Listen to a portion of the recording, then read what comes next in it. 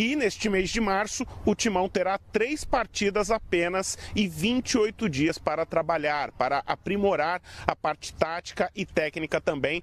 Vamos mostrar o que está acontecendo agora no CT Joaquim Grava.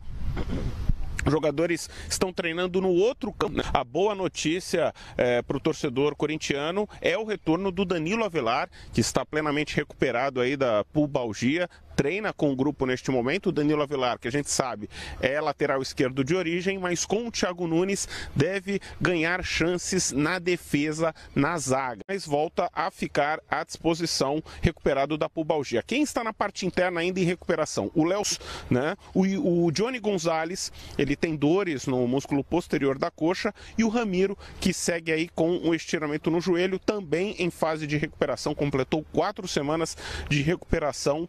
O Ramiro.